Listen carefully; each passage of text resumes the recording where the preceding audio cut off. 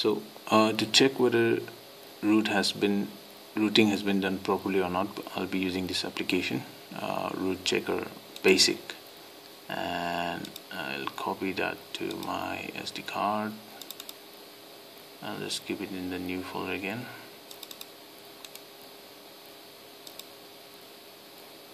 Okay it's copied. Go back to my phone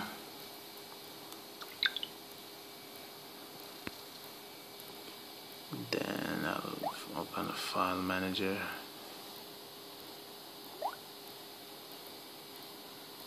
All files SD card memory new folder. Root checker basic is what I want to install.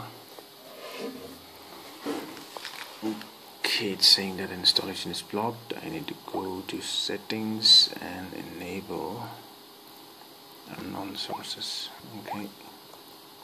This is what you need to enable if you want to install applications from uh, not from Google Play. I've enabled that. Going back to my file manager installing it. It's installed. Open. Agree. Okay now verify root access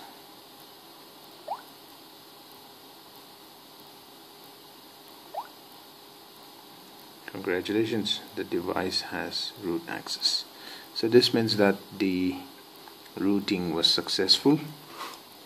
So basically you just need to install uh,